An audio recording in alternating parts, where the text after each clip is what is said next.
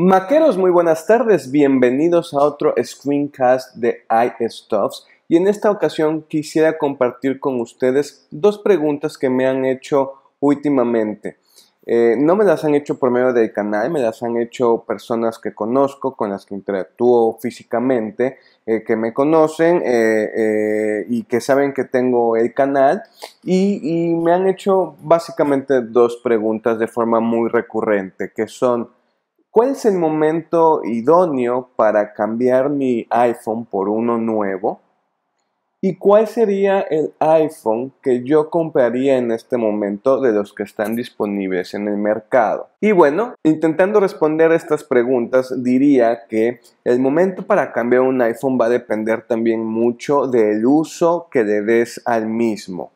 Eh, sin lugar a dudas no será eh, la misma necesidad que tenga una persona que solo ocupa el dispositivo para llamar por teléfono y para consultar su Facebook y, su WhatsApp a aquella persona que realmente lo ocupa como una herramienta de trabajo porque a lo mejor es un desarrollador web, porque a lo mejor es un community manager, eh, etcétera, etcétera, etcétera. Pero independientemente de esto, yo pensaría que para un usuario promedio, el momento eh, idóneo o, el, momento en el que tendría ya que pensar en cambiar su iPhone eh, es en el momento en que ya no puede actualizar más eh, su sistema operativo a la nueva versión.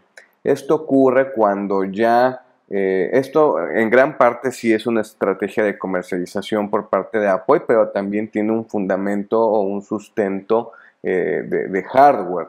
Eh, cuando ya el hardware que tiene un dispositivo o un determinado modelo es incapaz de soportar el software, entonces es cuando ya deja de existir la compatibilidad para la actualización.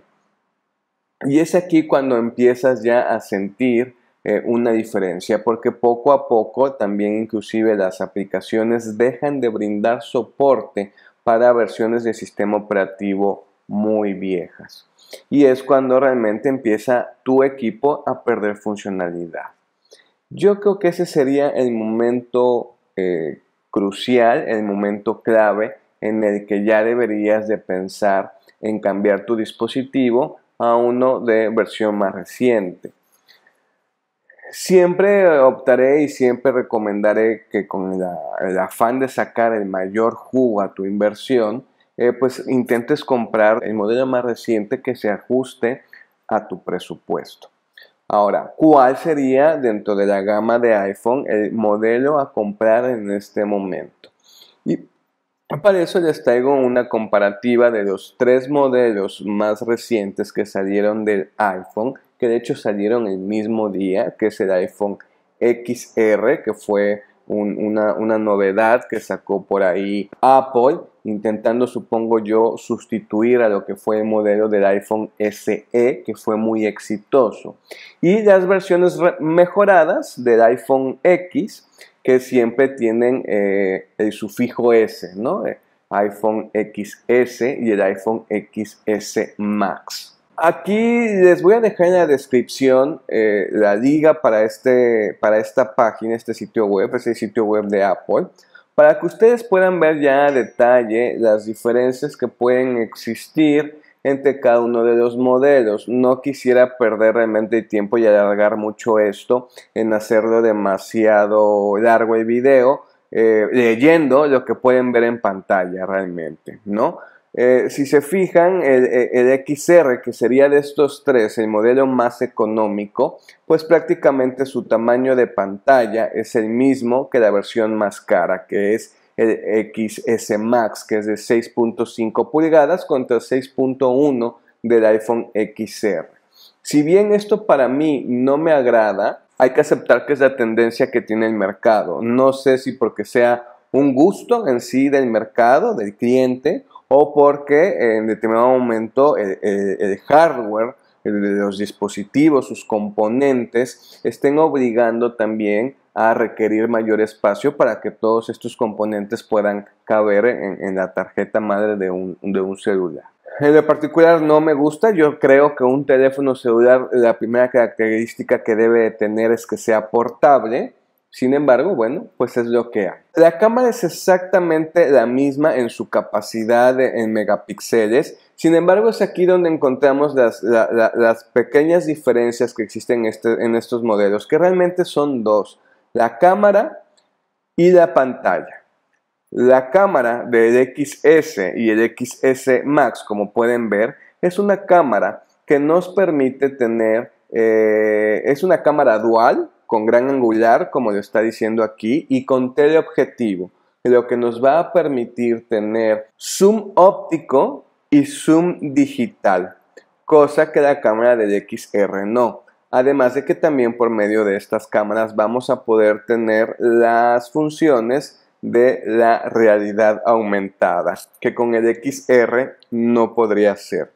Lo cual en este momento no, no me representa a mí una ventaja el contar con la realidad aumentada, porque es una tecnología todavía muy poco adoptada. Ya hasta la fecha yo no he encontrado ninguna empresa o ningún museo aquí en, en el país de México que esté ofreciendo algún tipo de aplicativo con esta tecnología. ¿De acuerdo? De ahí en fuera, las cuestiones importantes, como pueden ser el chip, como puede ser inclusive el hardware o sensores, son exactamente los mismos. Aquí los pueden ver. Los tres tienen exactamente los mismos. Giroscopio, acelerómetro, sensor de proximidad, sensor de luz y barómetro. De ahí en fuera, prácticamente el equipo es el mismo, evidentemente con sus pequeñas diferencias y con eh, en hardware y con las diferencias que estas diferencias de hardware producen en software, ¿no?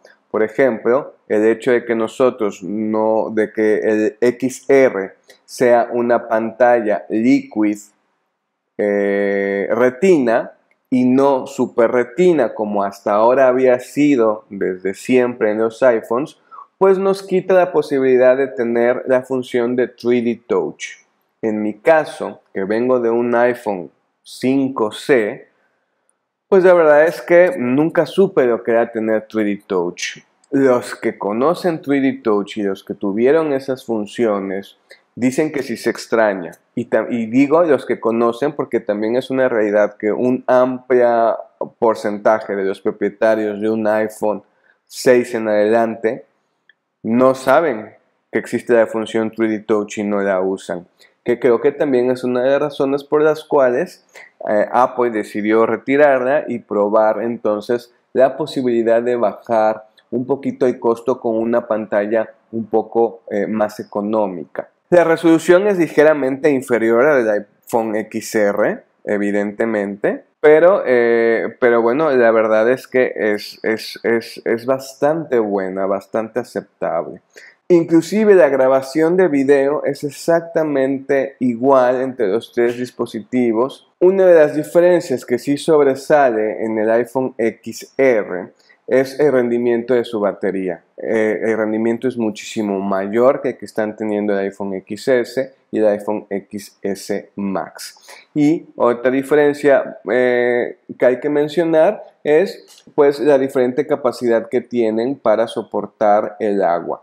El XR eh, tiene una resistencia de un metro, mientras que de profundidad de poder sumerger el dispositivo a esa profundidad, mientras que los otros dos tienen este, dos metros. Evidentemente no es un dispositivo para bucear, por lo que eh, simplemente son eh, algunas prestaciones para darle mayor seguridad al equipo en el caso de un accidente, que se te caiga, no sé, el equipo haya excusado. Bueno, eh, para este tipo de cosas un metro es más que suficiente. Entonces, bueno, por eso es que mi decisión eh, fue eh, el iPhone XR, me parece un muy buen dispositivo y su precio está sustancialmente por debajo de los dos anteriores.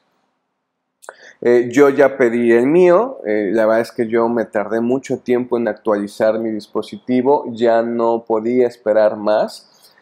si hubiera podido esperar más, probablemente todavía hubiera esperado a que saliera el iPhone 11 ni, y ni siquiera el 11, sino a lo mejor esperarme hasta el 11S. Recuerden que Apple siempre saca un dispositivo, en este caso por ejemplo el 11, y seis meses después está sacando la versión mejorada o corregida de ese dispositivo. Mejorada, porque corregida sería como decir que tiene errores y no, no es así, sino mejorada de ese dispositivo poniéndole siempre el sufijo S. En este caso sería el 11S. Eh, entonces, bueno, si tú estás pensando en comprar un dispositivo, eh, yo te sugeriría inclusive que esperaras a que saliera el 11 o el 11S, porque puede tener algunas prestaciones interesantes que te llamen la atención o que te sean de utilidad, algunas nuevas funciones. Y si no, pues por lo menos habrás obtenido un mejor precio en los modelos más mm, anteriores a ese. Entonces, bueno, pues este ha sido mi análisis, ha sido mi elección. Espero que les haya gustado y nos estamos viendo en próximos screencasts. Saludos.